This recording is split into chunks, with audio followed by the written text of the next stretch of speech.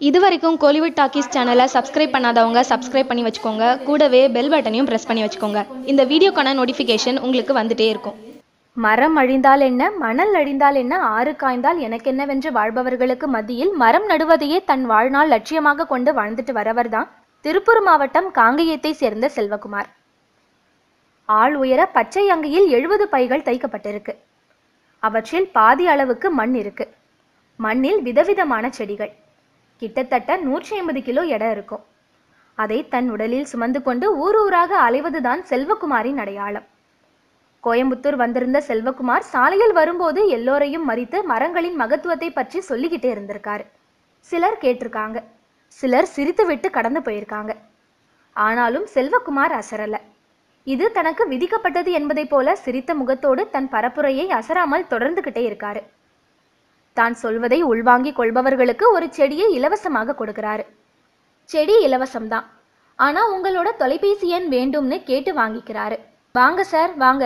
பூமி ஏன் வெப்பமாகுது தெரியுமா? இதுவரைக்கும் ஒரு மரமாச்சும் நீங்க நட்டு வளர்த்திருக்கீங்களா எந்தவித எதிர்பார்ப்பும் இல்லாம உங்களை ஏந்தி இருக்கும் இந்த மண்ணுக்காக நீங்க ஏதாவது செய்யணும்ல சார்? ஒரு செடி வாங்கிட்டு போய் உங்க வீட்டுல நட்டு வளர்ப்பீங்களா? காசெல்லாம் கிடையாது சார். ஆனா ஒரு நிபந்தனை உண்டு. கடைசி வரைக்கும் இந்த மரத்தை நீங்க காப்பாத்தணும் சார் என்று தான் பெற்ற பெண்ணை திருமணம் முடித்து கொடுக்கும் மாப்பிள்ளையிடம் வேண்டுவது போல சொல்லிக் கொண்டிருந்த செல்வகுமாரிடம் அவரை பற்றி கேட்டதற்கு என்னோட பேரு செல்வகுமார். நான் திருப்பூர் தாலுகா ஆஃபீஸில் அலுவலக உதவியாளராக இருக்கேன். சின்ன வயசுல இருந்தே எனக்கு மரம் நடுறதுல ஈடுபாடு இருக்கு. என் அப்பா நிறைய மரங்களை நட்டிருக்காரு. அப்பா கிட்ட இருந்து வந்த ஆர்வம் தான் இது.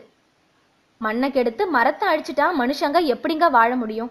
இந்த பூமிக்காக நாம ஏதாச்சும் பண்ணணும்னு தோணுச்சு. உடனே கையில செடிகளை தூக்கிக்கிட்டு ஊர் ஊரா கிளம்பிட்டேன். இதோட பத்து வருஷம் ஆச்சு. இதுவரைக்கும் நாற்பதாயிரம் மரக்கன்றுகளை மக்கள்கிட்ட இலவசமா கொடுத்துருக்கேன். ஆரம்பத்துல இது மாதிரி உடல் முழுக்க செடிகளை செருகல. கையில தான் தூக்கிட்டு போனேன். ஆனா என்னை யாரும் ஏறெடுத்து கூட பார்க்கல. அப்பதான் நாம ஏதாச்சும் வித்தியாசமா பண்ணாதான் மக்களோட கவனத்தை ஈர்க்க முடியும்னு தோணுச்சு. அதுக்கு பிறகுதான் பெரிய அளவில் அங்கி தச்சு அது முழுக்க செடிகளை செருகிட்டு ஊர் ஊராக கிளம்பிட்டேன். கிட்டத்தட்ட நூற்றி ஐம்பது கிலோ இருக்கும். ஆனால் இதை நான் ரசித்து பண்ணுறதுனால எனக்கு பாரம் தெரியலை. ஒவ்வொரு ஊராக போய் மக்களை சந்திச்சு பேசுவேன். பேச்சிலேயே யார்கிட்ட செடியை கொடுத்தா ஒழுங்காக வளர்ப்பாங்கன்னு கண்டுபிடிச்சிடுவேன். அவங்க கிட்ட செடியை கொடுத்துட்டு செல்ஃபோன் நம்பரை வாங்கிக்கிட்டு வந்துடுவேன் ஒவ்வொரு மாதமும் சுழற்சி முறையில் ஏதாவது ஒரு நம்பருக்கு ஃபோன் பண்ணி செடியை பற்றி விசாரிப்பேன். அவங்களும் ஆர்வமாக சொல்வாங்க. அப்போ எனக்கு அவ்வளவு சந்தோஷமாக இருக்கும்னு சொன்னார். பல பேர் என்ன ஜோக்கரா தான் பார்க்குறாங்க ஆனால் நான் அதை பற்றி எனக்கு கவலை கிடையாது. வாரத்தில் சனி ஞாயிறு திங்கள்னு மூணு நாள் இது மாதிரி செடிகளை தூக்கிக்கிட்டு கிளம்பிடுவேன்.